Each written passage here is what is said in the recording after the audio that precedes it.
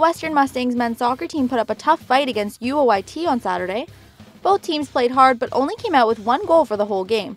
The game remained scoreless for the first half, but the Mustangs took the lead when Harris Sekic scored the goal against UOIT in the second half.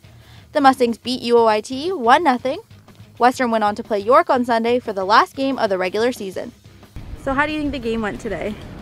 Well, we're pleased with the result. Um, we were hoping to score a couple more goals, just take a little of pressure off us, but uh, UOIT seemed to hold strong and we created a lot. We had most of the possession, but we just struggled a little bit putting the ball in the net.